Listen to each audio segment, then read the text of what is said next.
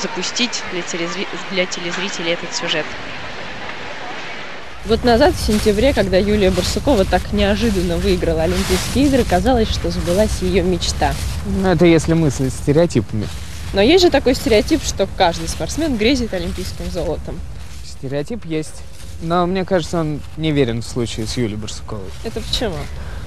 Ну, хотя бы потому, что выиграть в Сиднее она ну, даже не мечтала. Тогда получается, что этот фрагмент в ее спортивной биографии полнейшая неожиданность. Да, фрагмент неожиданность, а мечта – это совсем другое. Это лед, скольжение, вообще все, что связано с фигурным катанием. Именно Юля придумала совместить гимнастику и фигурное катание. Сочетать, что умела великолепно и что очень хотела уметь. Ведь начинала в спорте Барсукова именно с коньков, и только потом перешла в художественную гимнастику. Фигурное катание ей нравилось всегда. К тому же Юля отлично помнила, что у нее получалось. Поэтому в 22 года она рискнула снова выйти на лед. Неожиданно очутиться в холодном ледовом дворце после родного теплого зала, променять комфортные полутапочки на жесткие ботинки, превратиться из аса в новичка и разучивать по новой элементарные шаги. Для меня казалось, что я умею кататься. На самом деле нет.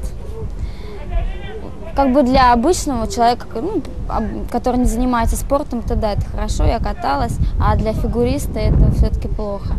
Приходилось все училась сначала самого, и все всякие элементарные движения, просто скольжения, беговые шаги, очень тяжело было том, что мы наблюдаем на льду, пока тренировочным, пока скрытым от общественного внимания. Конечно, скрывается не одна история, а целая косичка сюжетов. Люди, которые остались рядом, люди, которые предпочли удалиться, хотя публично этого не признают, новые помощники, новые друзья. То, что тоже подтолкнуло уйти из гимнастики, конечно, знакомство с Денисом, просто хочется быть с ним рядом, потому что если тренируюсь, невозможно находиться. В Москве вообще редко когда бываешь, тем более вместе, и очень тяжело. получится какая же семья, да, в разных углах все. Денис Самохин вовсе не наставник для Юли. То, о чем она начала размышлять практически сразу после Олимпийских игр, для него было лишь ребячеством, ну или, если хотите, девчачеством. На показательных выступлениях чемпионата России он со своей спортивной партнершей Анной Семенович всерьез и в шутку размышлял о будущем на льду, о своем будущем. Газетное интервью олимпийской чемпионки по художественной гимнастике Юлии Барсуковой, в которой она сказала, что она хочет кататься с Денисом Самохиным. Я готов открыть секрет. Юля – это в жизни, я ее люблю в жизни, а Аню я люблю на льду. Поэтому я собираюсь кататься с Аней. Прелестно. К его собственному удивлению, Юля оказалась честнее в своих устремлениях и преданности Денису. Ну, с самого начала я не верил в это, что она там будет заниматься, что ей будет это интересно, а потом пошло по накатанной, и стало и мне интересно, и ей. И все-таки мне кажется, что между фигурным катанием и художественной гимнастикой больше сходств, чем различий. А мне кажется, что похожих вещей всего две. Это композиции под музыку и субъективное судейство. Ну а сколько же, по-твоему, различий? Ну, по-моему, их масса. В одном случае это лед, в другом ковер. А это субтильность гимнастика, атлетизм фигуристок. Потом в художественной гимнастике главные броски, в фигурном катании прыжки, ну и так далее. Хорошо. Тогда я знаю еще одно сходство. Какое? Это Юля Барсукова. Девушке из гимнастики действительно сложно схватить хотя бы принцип скольжения, который прежде всего нужно выполнять на согнутых коленях, что в гимнастике просто запрещено. Конечно, за год забыть все старые привычки невозможно. Тренируется Юля в любимых лосинах и наколенниках, да и в руках все тот же мяч – Хорошо знакомая композиция на музыку Синсанса и неизменный образ умирающего лебедя. Правда, на коньках лебедь иногда действительно умирает. Мне чуть-чуть пока стыдно, потому что то, что я делала на ковре, с этим не сравнить. Мало что я умею и так неуверенно все делаю, поэтому еще много-много надо учиться и работать. Своей работой Юлия Барсукова может сделать так, что совсем скоро стыдно будет уже всем остальным фигуристам, которые в угоду атлетизму уже давным-давно забыли о том, что такое гибкость, растяжка. Если Юля освоит вращение, то этот Бильман будет беспрецедентным, а ее спираль в гимнастическом равновесии уже сейчас совершенно новый стандарт. Безусловно, такой прогиб шокирует любого тренера по фигурному катанию, но это же пояс, к которому Денис теперь подключился не только как муж. Я поставил перед собой цель, и Юля тоже очень хочет это.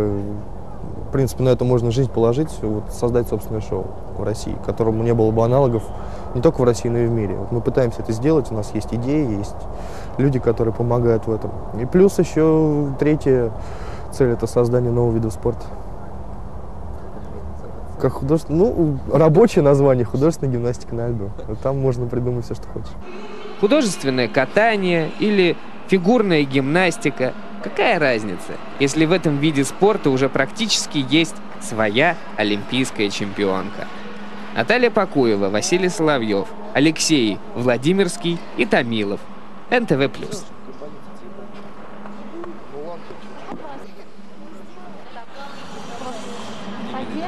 Ножки параллельно. Ой.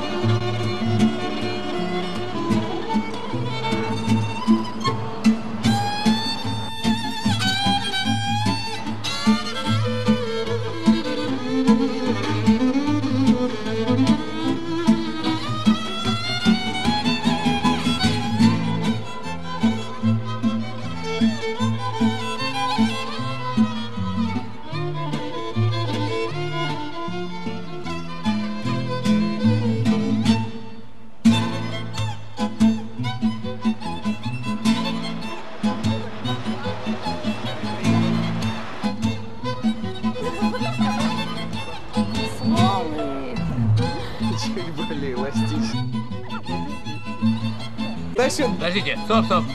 Да как год назад.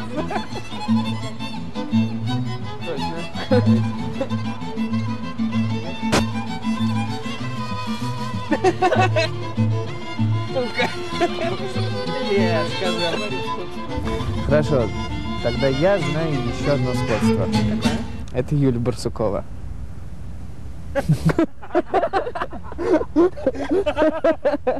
Зачем ты так сделал?